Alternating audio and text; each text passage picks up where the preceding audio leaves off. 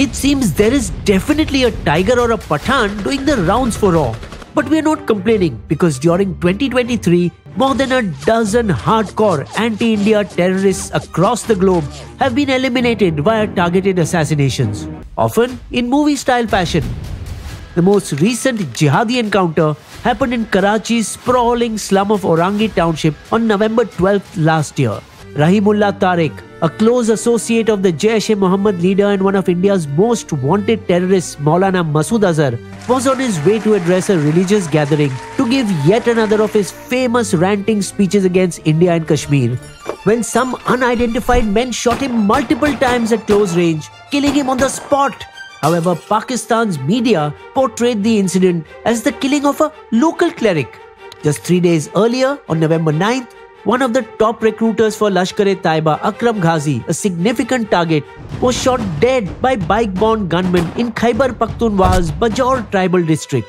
Here, two Pakistani media referred to him merely as a muezzin, a person who proclaims the call to prayers. While the Pakistani government did not even acknowledge his killing. Stay with us and we'll tell you why and it's hilarious. But before that, please like and subscribe and remember to write your comments after watching.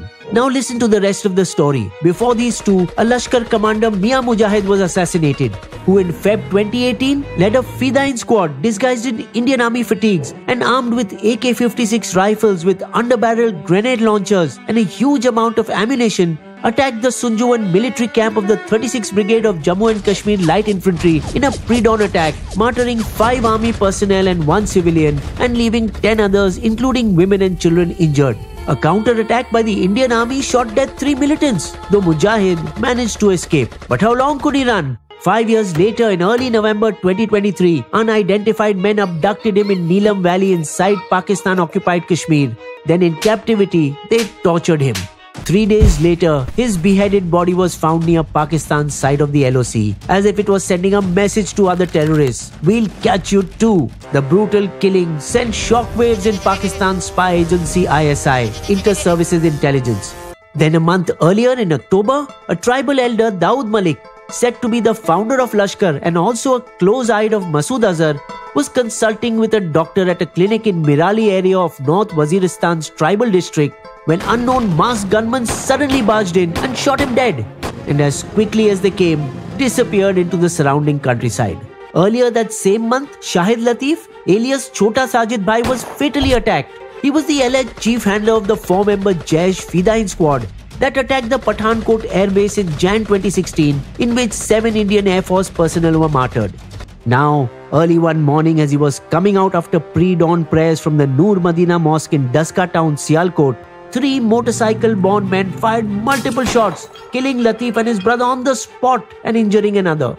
Latif was a particularly significant target. He was among the 40 terrorists who often took refuge in Kashmir's Hazratbal shrine, and which the army at one point even sieged in 1993 to stop this practice, but were forced to provide them safe passage to ensure the safety of the shrine and the holy relic kept there, believed to be a strand from the beard of Prophet Muhammad.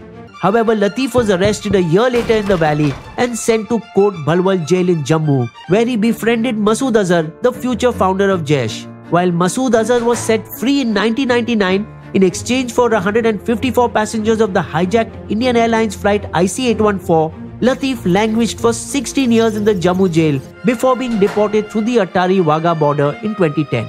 But back in Pakistan, he once again got in touch with Masood Azhar, who had by that time formed the now infamous terrorist outfit of Jaish. Investigators also traced Latif fingerprints in connection with the September 2023 Kokernag encounter in which two Indian officers and a policeman were martyred. Mufti Kaisar Farooq, a close associate of 2611 attacks mastermind Hafiz Saeed, was also killed last October. In early September, a top LET commander Riaz Ahmed, who handled Lashkar's operations and recruitment in POK and was also behind the Rajouri attack in Jammu and Kashmir in Jan 2023, was in the middle of offering Friday prayers inside Al Quddus Mosque in Rawalakot, POK, just a few kilometers away from India's Poonch sector, when assailants disguised as worshippers walked up to him and shot him dead at point blank range. while LET operatives Maulana Ziaur Rahman and Mufti Kaisar Farooq were both shot dead in separate occasions in Karachi in September, once again by unidentified bike-borne assailants. In May, Chief of the Khalistan Commando Force Paramjit Singh Panjwar was on a morning walk near his residence in Lahore when, you guessed it, unidentified bike-borne assailants shot him dead. More than a dozen terrorists, all on New Delhi's most wanted list, associated with Lashkar, Harkat, Jaish, or Khalistan, have one by one been mysteriously killed on Pakistani soil in the last two years. Unofficially, Pakistani officials blame the intelligence agency of a hostile country, aka India's RAW, who they claim to have set up base in a Gulf state, a veiled reference to the UAE, and established a network of local operatives, some of them being disgruntled former Pakistani law enforcement personnel. This, they deduce, because Rahimullah Tariq's assailants seem to be familiar with the topography of Orangi slum, while Latif shooters appear to have been familiar faces because when they approached the Sialkot mosque on bikes, they did not arouse suspicion, and after the killing, they were able to escape easily as if they knew the area. Further, they say, despite so many targeted killings, why has no group ever claimed responsibility? According to Pakistani intelligence sources, New Delhi knows exactly the whereabouts of several terrorists and even shared the names and locations with Islamabad to take action and continue to keep a tab on them. And many of these same men have been gunned down by unidentified assailants.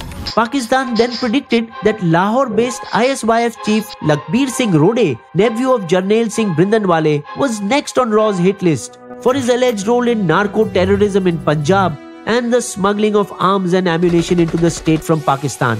Indian intelligence have handed over to Pakistan details of where he lives and the Gurdwara that he frequents, demanding, Hand over Rode to India. And as if on cue, he died of a heart attack on December 1st.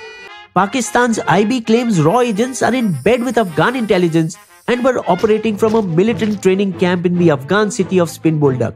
India may be well placed to take advantage of the deteriorating relations between Afghanistan's Taliban government and Pakistan's ISI due to their multiple disputes over the demarcation of the Durand Line, its problems with the militant group TTP, and the forced and sudden repatriation of millions of Afghan refugees. However, officially, Pakistan and the banned militant organization it nurtures on its soil are silent about the killings.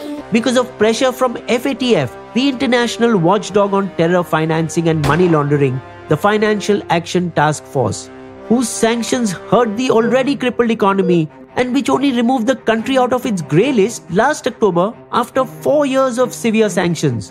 The reprieve came only because Pakistan promised to act against terror groups on its soil and jailed LET commander Sajid Mir as proof. But he too was rushed to hospital and placed on a ventilator after he was reportedly poisoned in early December. Pakistan now has no option but to keep quiet as India allegedly goes about eliminating terrorists sitting on their lap. The string of assassinations gained traction after the botched attempt on the life of LET founder and 2008 Mumbai attacks mastermind Hafiz Saeed in Lahore in 2021. But following several successful assassinations, a report by The Intercept citing secret documents claims Pakistan's intelligence bureau, in fear of India's death squad, which India vehemently denies exist, has increased the security of individuals designated as terrorists by India, whose existence on Pakistani soil Islamabad has denied until now. But all that extra security didn't help Adnan Ahmad, a top LET commander and close-aide of Masood Azhar, when assailants breached a two-tier security cover at his Karachi home set up by the ISI and shot him dead at point-blank range outside the gates of his house in the first week of December last year. Some sources are trying to play it down, saying ISI is cleaning up its own house, as those killed now don't serve any purpose to the Pakistani establishment.